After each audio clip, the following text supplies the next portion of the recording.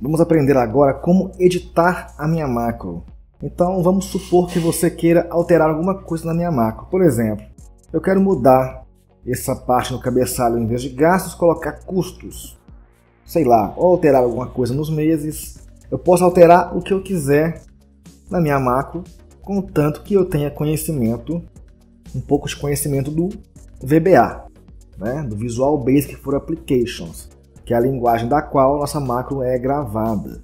Então vamos lá como acessar, uh, acessar esse código, né?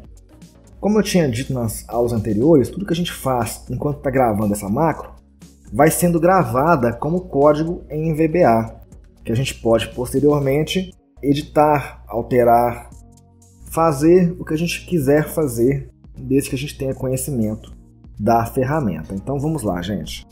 Aqui em cima, em desenvolvedor, nós vamos clicar aqui nessa aba desenvolvedor, vamos clicar aqui em macros ele vai abrir aqui nossas macros, tá? E agora eu posso clicar na minha macro e aqui na, na direita eu tenho a opção editar.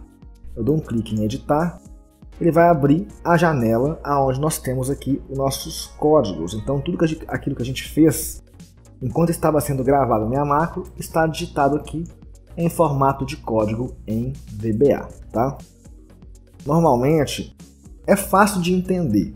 Basta que a gente preste bastante atenção para entender o que o Excel está fazendo. Por exemplo, range a3.select. Este comando está informando está selecionando a célula A3, ok?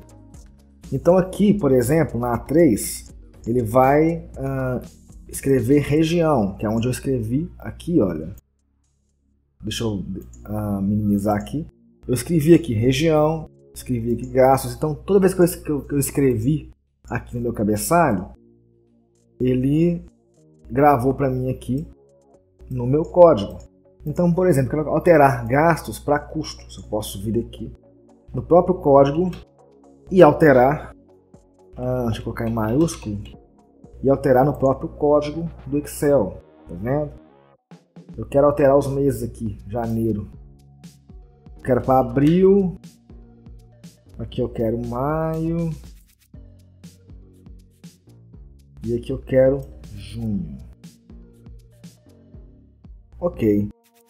Fazendo isso, basta fechar o nosso, a nossa janela, ele já vai gravar automaticamente esse código. Então agora, se eu clicar no meu botão, ele vai uh, executar a macro de acordo com nossas alterações.